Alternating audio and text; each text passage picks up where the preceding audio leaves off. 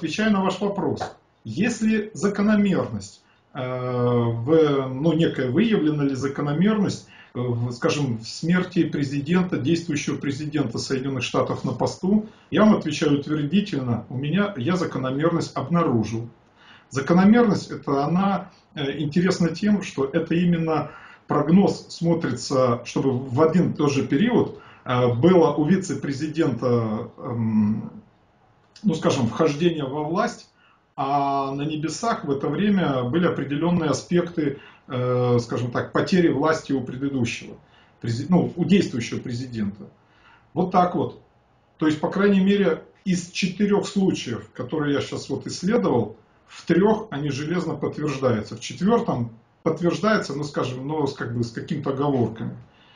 То есть такие закономерности есть. Я говорю, это вообще интересная информация вот такого плана. Она. И это можно сказать, вот тогда, когда будет назначен вице-президент, исследуя его гороскоп, можно, э, по крайней мере, э, сделать прогноз э, на опасные периоды действующего президента. То есть на те периоды, когда вице-президент может стать президентом. То есть эти, и это оказывается, что в это время это самое опасное время для ну, как бы, что это такое? Что если его зам становится, скажем, там, э, властью облекается, значит, что-то, какие-то проблемы с существующим лидером.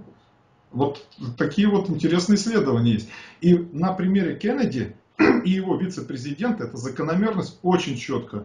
Эм, его, кто там после него пришел? После него пришел... Линдон Джонсон. Э, так, Кеннеди, да, Джо, Линдон Джонсон, да, пришел. Он буквально один срок был. И это произошло 22 ноября 1963 года.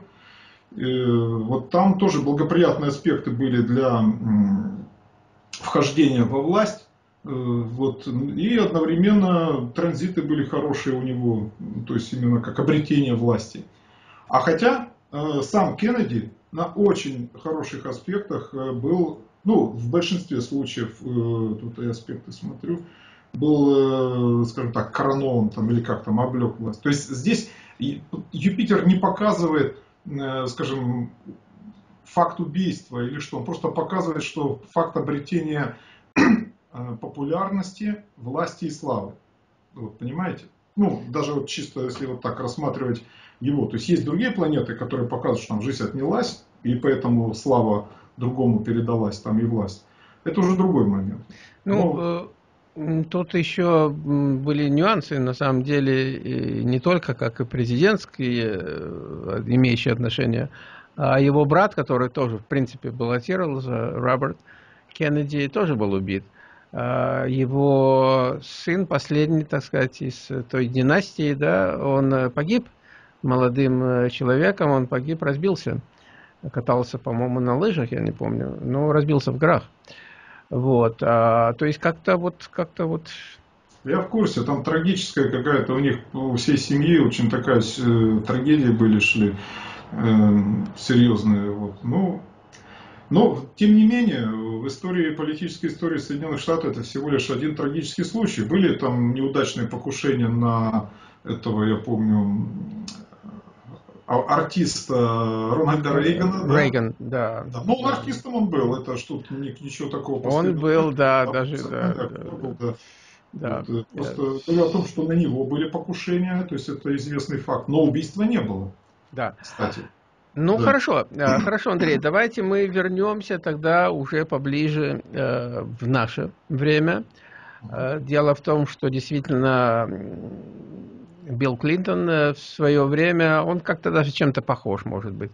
Э, как-то вот так преклоняясь, поклоняясь, не знаю. Э, но он хотел быть похожим и хотел, чтобы его точно так же любили, потому что Джон Кеннеди его любили, нация его любила. Ну хорошо, давайте вернемся к нашим претендентам на престол. Хиллари Клинтон и Дональд Трамп. Э, ну, давайте мы немножко начали анализировать, вы рассказывали, э, каковы шансы, э, и они будут ли, будут ли они меняться, в, чем ближе, скажем, там, к выборам, тем популярность больше будет завоевываться. Как вы видите по вашим исследованиям? Ну, есть интересные... У меня есть, конечно, вывод окончательный, как бы моя точка Да, мы знаем, что у вас есть, я знаю. Но давайте я... мы интригу оставим на потом, так сказать. Да, я пока не буду его, скажем так, раскрывать, но да. Э, суть в том, что если мы посмотрим пока на предмет именно вот этого предвыборной гонки, сейчас, секундочку, тут... Э, вот если Хиллари Клинтон ее рассматривать гороскоп и посмотреть, какие показатели у нее есть, эм, ну, вообще в процессе этого всего действия, то сейчас у нее идет благоприятный показатель. У нее в настоящий момент идет хороший аспект Юпитера транзитный к Юпитеру Радикса.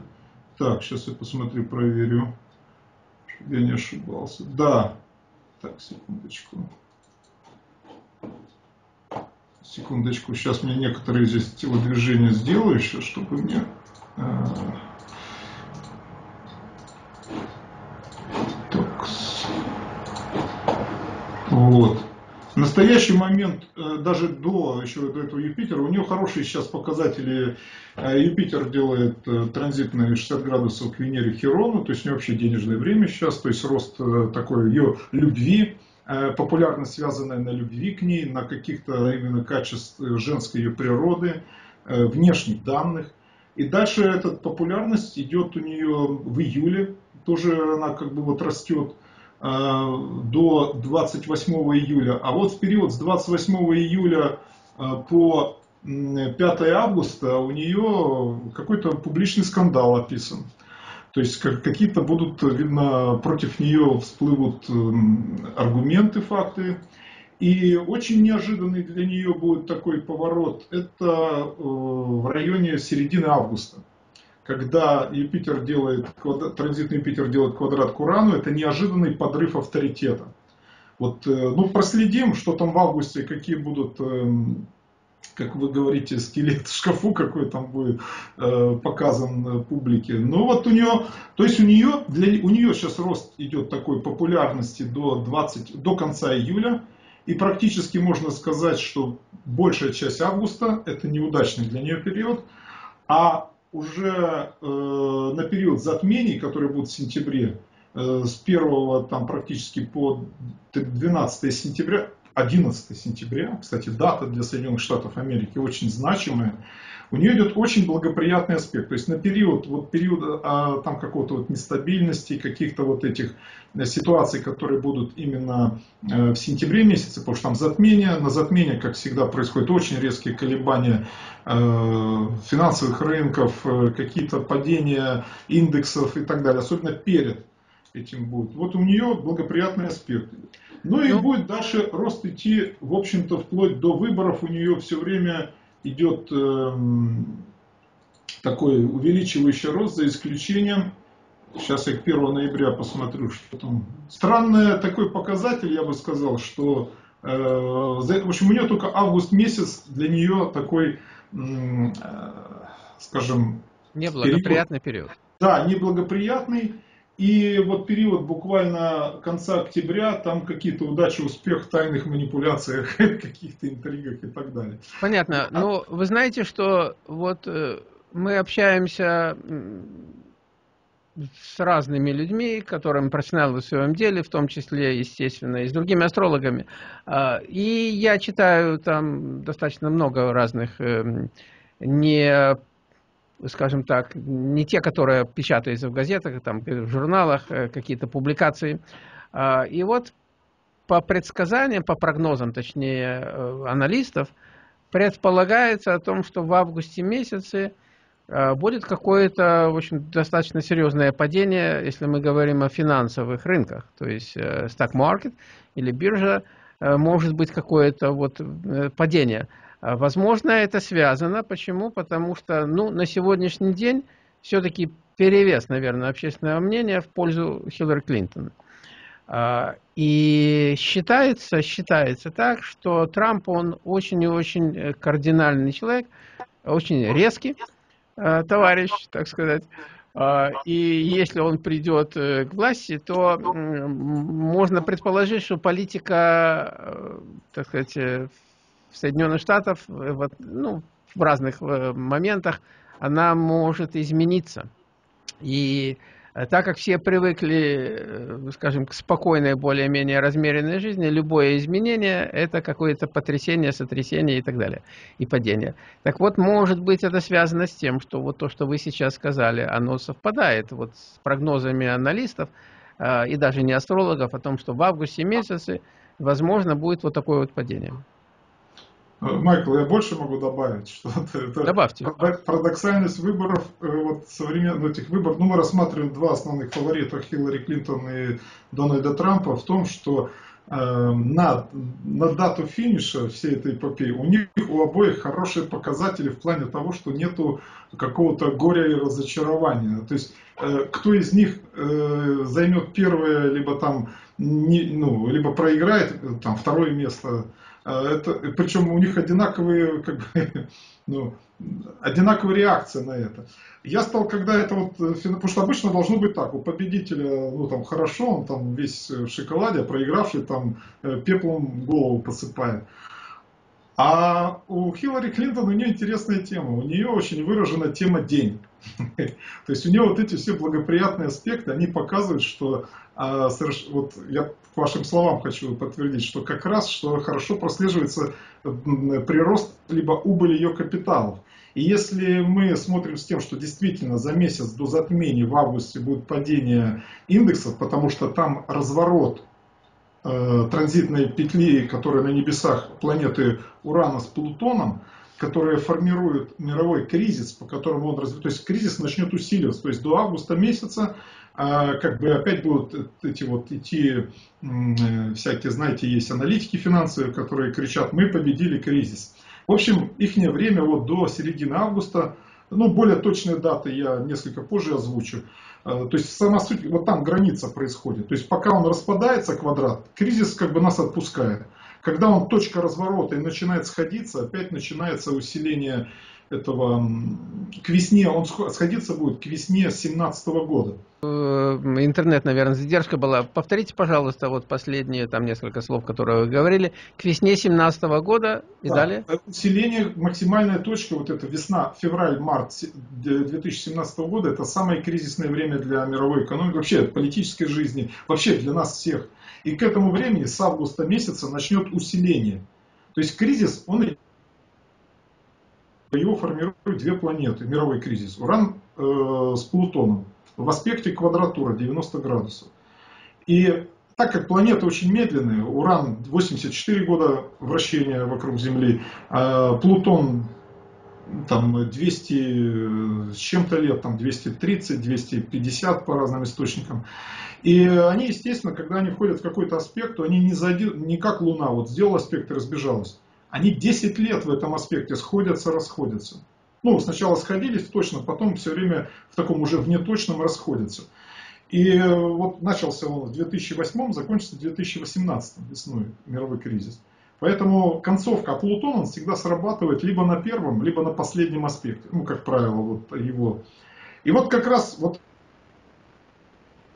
одну скажем, один показатель вот глобальной, скажем, там, рецессии мировой экономики с, непосредственно с, с человеком, который имеет отношение к крупному капиталу, ну, Трамп тоже имеет к крупному капиталу отношение, но в данном случае у Хиллари он очень э, вы, выражено, э, и здесь действительно можно предположить, что вот эти неожиданные события, которые в ее гороскопе, то есть по ее гороскопу можно прогнозировать, собственно, э, падение рынков, то есть, если вот вернемся опять э, к этому, вот давайте сделаем такой в прямом эфире прогноз, э, глядя на ее гороскоп.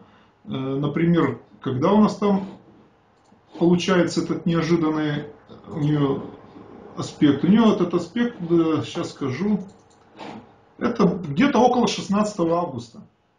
Вот плюс-минус несколько дней. Вот, пожалуйста, точная дата падения.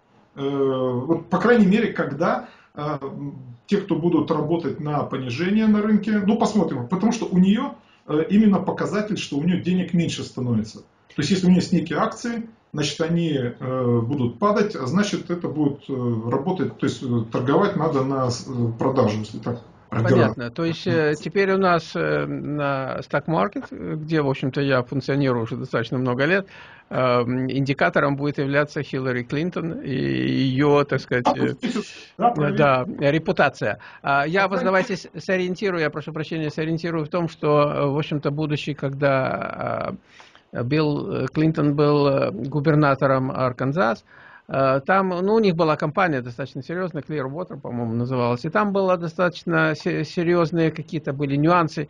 Сейчас э, не будем вдаваться в эти детали, но это все начало всплывать какое-то время тому назад. Э, можно посмотреть это, найти, когда это было, вот скандалы с этой компанией. Надо посмотреть, интересно, вот по гороскопу тогда что-то было тогда вот в ее, так скажем, гороскопах. Но это, конечно, время, это не сейчас, это не в этом эфире, да. Мы можем в комментарии там это вот э, на Фейсбуке дописать на этот, этот вопрос, на этот ответ, более спокойно исследовать и аналогию какую-нибудь. Uh -huh, uh -huh. Хорошо. Э, так, значит, э, будем иметь в виду дату, которую можно вы, вы обозначите. Да, конечно, да. Да, так вот можно тут понять даже, в какие бумаги она вложилась. Вот те бумаги будут и падать в это время. То есть, если такой инсайд иметь, было бы вообще здорово. Потому что если смотреть, э, перейти вот к ее конкуренту главному, Дональду Трампу, у него любопытная картина выглядит... У него, сейчас, секундочку, я сейчас... Так, Трамп. Вот. Э, у него интересная картина выглядит несколько по-другому. У него, в принципе, такой показатель, как у Хиллари, произойдет несколько раньше, э, буквально в первых числах июля. А, обратите внимание, а июль месяц у Хиллари очень позитивный. А у Трампа июль просто отрицательный. Скандал на скандале. И э, там три таких очень у него удара будут сильных, причем первый будет где-то в период с 29, а вот сейчас разворота Марса с 30 числа до 6 июля, то есть первая неделя у него падение. То есть в июле будет резкая такое э, дивергенция такая графиков, скажем, у Хиллари очень сильный рост авторитета и популярности, а у Дональда Трампа очень резкое падение. Именно июль. Но это не значит, что Дональд, скажем так, эм, э, скажем так, слабый э, противник, слабый там конкурент. Просто, ну, судьба такая. И э, Дональд тоже, он, Трамп, он человек, который в первую очередь, ну, у него, как я понимаю, не столько тема власти, сколько тема бизнеса и денег. Значит, э, те, собственно, его бизнесы, либо его бумаги, те бумаги, в которые он вложился, в это время будут, э, ну, как-то нести какие-то убытки. Это тоже, потому что ключевая фигура. Э, я вот не зависаю, нет? То что-то мне... Ну, картинка зависает, но голос звучит. Так вот, любопытная деталь другая, что в августе, как раз ровно на те, на те периоды, когда у Хиллари Клинтон отрицательные показатели – у Дональда Трампа идет э, рост, в общем, и красоты, любви, и это э, успех, удача в карьере. То есть, ну, если так, э, я такими шаблонами астрологическими описываю, то есть он и финансово, и, э, и карьерно начинает расти. То есть мы видим два периода. В июле у Хиллари идет вверх, у Трампа вниз показатели, а в августе разворачивается все в диаметральную сторону.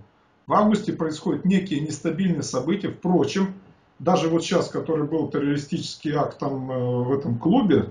Э, Калифорнии? Вот, да, да. Это же на руку, кстати, вот эта вся нестабильность, если так говорить, она на руку Дональду Трампу. Ну, его как бы программе политической. То есть мы видим, что если будут какие-то показатели нестабильности, то в это время будет э, выигрывать, э, скажем так, э, это на руку кандидату, который, скажем, эту энергетику как-то вот описывает. А Хиллари, она описывает, как это не парадоксально, хотя многие связывают там с войной и так далее, она больше э, описывается, скажем так, мирным временем. Но так как в августе происходит разворот планет кризиса в сторону ужесточения мирового кризиса, то начинается глобальный тренд которым, скажем, волна, э, которая, скажем, как бы выносить начинает Дональда Трампа на, наверх. Понимаете, это его как бы э, такая, ну, более большая волна. То есть, если вот так описать э, волнами, есть маленькие волны, как, ну, как часовая стрелка, минутная, секундная. То есть, начинается час Дональда Трампа, да, до этого там минутки какие-то шли, вот, и э, стратегически. И вот здесь, то есть Трамп до августа, иными словами, до августа месяца Дональд Трамп будет отстающим, э, каким-то скандальной популярностью, то есть он что не скажет, все будет против него сказано, там, либо как-то переиначено, э, его будут, вложения будут нести эм, ну, какие-то убытки там и так далее. А вот в августе, как раз когда произойдет период нестабильности, период э, какой-то повышенной турбулентности в экономике, э, он на коне будет. То есть у него начнется рост. И вот как раз к выборам этот, этот рост, он как раз и усиливается. Хотя вот именно на период самих выборов э, там показана какая-то скандальная информация, что-то там сейчас, секундочку. Нет, это еще скандальная информация перед выборами будет. Смотрите, у него период октябрь месяца ознаменован э, середина октября скандалом, но перед выборами у него включаются мощные процессы, особенно конец октября у него очень сильный. И э, самое главное, что показатель, что на конец ноября, начало декабря у него происходит Юпитериар. А это Джокер, скажем, э, в выборной системе, это когда транзитный Юпитер идет по Юпитеру, к чему у, например, у Хиллари Клинтон такой показатель, который происходит один раз в 12 лет, произойдет только в 2018, в конце 2018 года. А вот я поэтому и говорил, что ну, показатель, мало того, показатели другие на дату инаугурации, которую я обычно прогноз строю, также для Трампа у него больше показателей на победу, чем у Хиллари Клинтон. Это... Андрей, э, скажите, э, если идти от обратного, допустим, ну, мы знаем, что если побеждает Трамп, то по прогнозам многих политиков, аналистов, э, будет большие изменения во внешней и внутренней политике Соединенных Штатов, что, естественно, отразится во всем мире. Вот есть, есть ли у вас какая-то, проследить вы можете, что произойдет, допустим, в 2000, начиная с 2017 года? Изменится ли ситуация на политическом э, небосклоне, скажем, э, после 2017 года. Изменится ли она кардинально, изменится ли она ну, совсем, в общем-то, незначительно? Э, вот если, если да, тогда можно предположить от обратного идти, что тогда побеждает Дональд Трамп. Ну, по логике. Ну, я, э, да, ну, сейчас я расскажу свое видение, точку зрения. Я, я сейчас рассказываю с позиции астрологической, не с позиции, скажем, аналитиков каких-то там... Э... Я тоже не аналитиков. Это я беру, мы убираем аналитиков, а просто с позиции астрологии меняется ли ситуация в мире в 2017 году. Если ну, она если, да. если 2016 год и 2017 год, изменения в 2017 году, э, серьезные изменения по сравнению с 16, 15 и так далее? Ну, во-первых, я же уже озвучивал, что мировой кризис еще не окончен.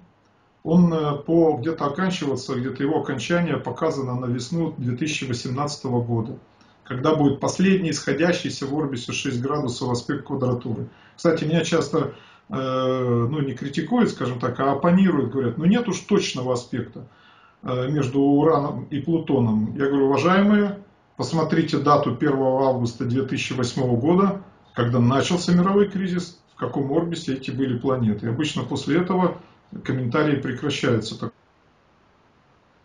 Нет точный, но около 6 градусов. Но дело в том, что орбита Плутона – она находится в другой плоскости, она не в плоскости эклиптики находится, она находится в какой-то там 23 вроде градуса, я уже сейчас на скидку не помню, астрономический показатель. То есть она не в плоскости вот э, вращения Солнца, она в другой плоскости, и при проекции на плоскость э, натальной карты, которой астрологи работают, происходит расхождение, то есть люфт.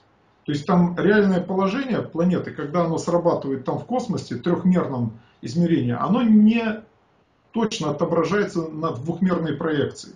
И поэтому эм, Орбис допустим. Ну, собственно, почему он и откуда это слово вообще берется. Орбис это, скажем, э, пред, там, градусы, в которых мы допускаем погрешность э, точности там, э, расчетов. Вот. По, по факту эта работа идет, происходит. Поэтому, а какая задача вот этого э, самого проекта по мировому кризису, скажем? Э, во-первых, Уран это планета революции, перестройки, Плутон это планета корпоративных, вообще крупных финансов. И конкретная конечная цель мирового кризиса это, как это не звучит, э, может быть, там страшно или как, это, э, скажем так, уничтожение денег, э, скажем, маленьких всяких, их принудительная, скажем, реформа на единую наднациональную валюту. К чему, ну, как бы генеральная линия. То есть, поэтому, если мы в это, и, кстати, вы обратите внимание, что вот на Форексе кто торгует, в последние несколько лет – вот эти основные валюты приравнивают э, к курсу доллара. Вот они где-то около 1,1, там 1, 1 к 1. Ведь раньше, например, э, что было? Какой был курс евро и доллара? 1 к 1,5. Ну, там евро было там практически коэффициент 1,5, 1,4 по сравнению к доллару. Сейчас 1,12. То есть где-то вот здесь рядом. Швейцарский франк там от 0,9 до 1,1 ходит, гуляет.